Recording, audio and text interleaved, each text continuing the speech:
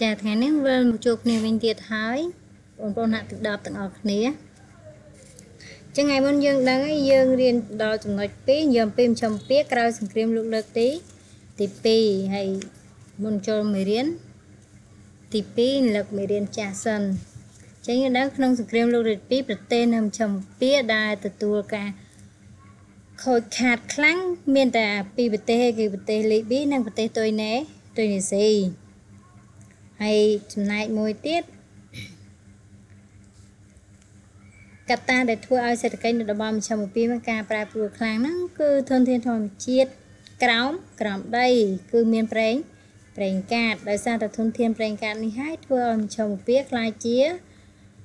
មណ្ឌលមួយដ៏សំខាន់នៃអន្តរាគមរបបភូមិហាអំណាចចំនួនចំនួនថ្មី ហើយមួយទៀតយើងដឹងហើយ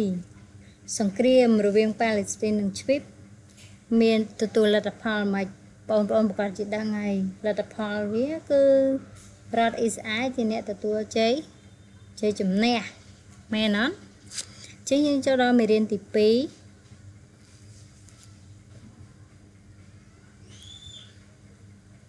មេរៀនទី2ក្នុងថ្ងៃនេះយើងរៀនអំពីប្រទេសភូមិភូមាអញ្ចឹងចាំមេរៀននេះ យើងអាចរៀបរាប់ពីកំណើតរដ្ឋភូមានិងជនជាតិដើមពន្យល់ពីព្រឹត្តិការណ៍ប្រវត្តិសាស្ត្រភូមាពីសតវត្សទី16ដល់18នៃសម័យអាណានិគមអង្គអង់គ្លេសជាជាថាប្រទេសដែលស្ថិតខាងខាងគ្នាតែមានប្រវត្តិសាស្ត្រជូរចត់នឹងនឹងគ្នាជាថ្ងៃនេះយើងលើកមកចំណុចទី1យើងពីកំណត់កំណត់រដ្ឋនៅប្រទេសភូមិភូមាហើយចំណុច 1.1ជនជាតិដើមភូមានិងរដ្ឋដំដំបងហើយចំណុច1.2សង្គ្រាម និងកំណត់រដ្ឋផ្សេងផ្សេងទៀតទាំងមុនចូលដល់ចំណុចធំធំទាំងអស់ហ្នឹងយើងពាក្យកលើខ្លះឲ្យបងអូនដឹងអញ្ចឹងអយុធ្យាអយុធ្យាមានន័យថាភាពសពសុខដែលគ្មានសង្គ្រាម យកកន្លែងនេះក្រុងសៀមហ្នឹងហើយមួយទៀតសន្តតិវងគឺវងតកលពូជពងអត់ដែលតតគ្នាមកដំណវងតតតគ្នាមកទីយើងចូលដល់ចំណុចមួយធំកំណើតដល់កំណត់កំណើតរដ្ឋនៅប្រទេសភូមិភូមាអញ្ចឹងនៅចំណុចនេះដែរខ្ញុំចង់លើកមក និយាយបន្តិចចឹងប្រទេសភូមាថានៅផ្នែកពីវាយប់នៃតំបន់ឥណ្ឌូដូចចិនហើយប្រទេសនេះព្រមតានជាប់នឹងឥណ្ឌាបង់ក្លាដេសចិនឡាវថៃនិងជាប់សមុទ្របេងកាប៉ែកខាងខាងត្បូងហើយសណ្ដានដីប្រទេសនេះគឺប្រទេសភូមិមានភ្នំច្រើនចឹងទំនាបប្រទេសនេះកើតឡើងពីដីល្បាប់ គឺដីល្បាប់ទន្លេអ៊ីរ៉ាវ៉ាទីនិងស៊ីតង់និងសាណូអង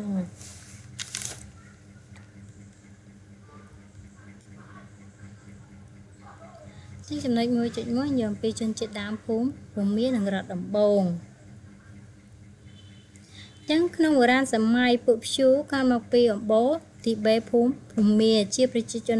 ដំបងអស់នៃដែនដីភូមិភូមាហើយ រវាងសតវត្សទី3ហ្នឹងពួកព្យួនបានបង្កើតជារដ្ឋមួយគឺរាជាណាចក្រដែលមានរាជធានីឈ្មោះថាព្រមហើយព្រះរាជាណាចក្រភ្ជៅហ្នឹងគឺស្ថិតនៅតាមដងទន្លេ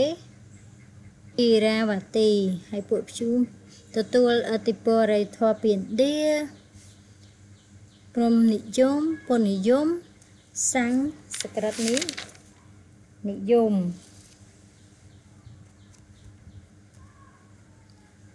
ចឹងនិយាយភាសាទៀតពួកព្យួរនឹងទទួលអធិពលអរិយធម៌ពីឥណ្ឌាព្រានិយមពុទ្ធនិយមនិងសាំងសំស្ក្រឹតនិយម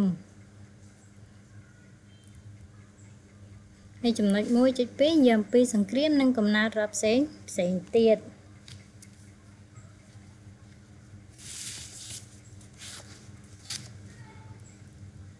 ទាំងនៅពេលកណ្ដាលសតវត្សទី13ភូមិម៉ុងហ្គោលរាតត្បាតយូណាមហើយរំលាយរដ្ឋអានជារបស់ថៃ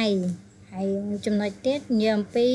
ប្រទេសភូមាធ្វើសង្គ្រាមតស៊ូយ៉ាងសុតស្វែងជាមួយនឹងពួកឈ្លានពានម៉ុងហ្គោលហើយចិត្តឆ្នាំ1280ហ្នឹងនៅប្រទេសភូមាភាគខាងកើតតាមដងទន្លេស៊ីតោងហ្នឹងរាជាណាចក្រថ្មីបានកើតឡើងមួយបានចាប់កំណើតឡើងហើយមជ្ឈមណ្ឌលនៃរាជាណាចក្រនោះគឺតោងតងអ៊ូ ក្នុងការសង្គ្រាមជាច្រើនលើករវាងភូមិនិងថៃភូមិខ្លាយជារដ្ឋ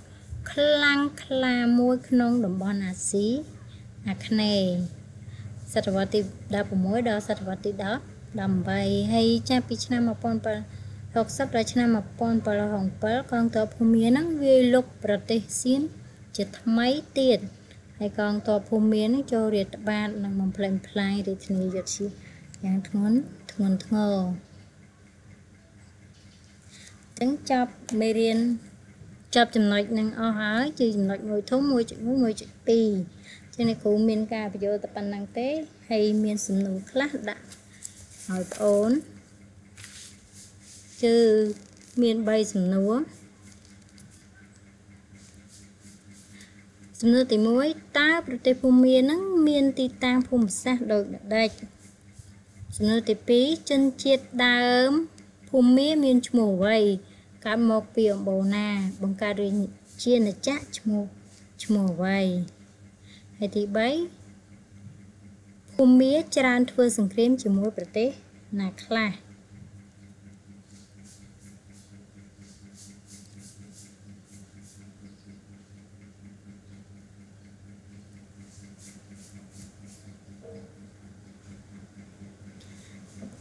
ចឹងកន្លែងហ្នឹងខ្ញុំ លើកឡើងចម្លើយមកប្រទេសភូមាមានទីតាំងភូមិសាស្ត្រស្ថិតនៅផ្នែកពាយ័ព្យនៃតំបន់ឥណ្ឌូចិន មានព្រំដែនជាប់នឹងឥណ្ឌាបង់ក្លាដេសចិនឡាវថៃនិងជាប់សមុទ្របេងបេងកាប៉ែកប៉ែកខាងបូងហើយចម្លើយលេខ2ជនជាតិដើមភូមាហ្នឹងមានឈ្មោះថាព្យូកើតមកពីអំបូរទីបេភូមិភូមាបង្កើតរាជនិច្ចមួយឈ្មោះថារាជាណាចក្រ ខ្ជើឬក៏រត់រត់ខ្ជើអញ្ចឹងណាហើយទី3ភូមិច្រើនធ្វើសង្គ្រាមជាមួយប្រទេសដូចជា ជាមួយម៉ុងហ្គោលនៅសតវត្សទី10 13ហើយជាមួយថៃនៅក្នុងសតវត្សទី16ដល់18គឺឆ្នាំ1760ដល់ឆ្នាំ1767អញ្ចឹងយើងបើកវងកញ្ចក់បន្តិចមកកងទ័ពភូមាវាយចូលសៀមហើយយើងចុះបន្តត្រេមកទៀតមកគឺ ធ្វើសង្គ្រាមជាមួយឥណ្ឌាធ្វើសង្គ្រាមជាមួយអង់អង់គ្លេសចឹងថ្ងៃនេះយើងចាប់ចំណុចប៉ុណ្ណឹងចឹងទៅជួបគ្នាម៉ោងក្រោយបងអូនកុំភ្លេចមើលចំណុច2តផងលឿងហើយសម័យកាលកូវីដស្រុកយើងកំពុងតែរាតត្បាតខ្លាំងខ្លាខ្លាំងសូមបងអូនប្អូនថែរក្សាសុខភាពនិងនាំគ្នាការពារទាំងអស់គ្នាជូនពរសុខភាពល្អ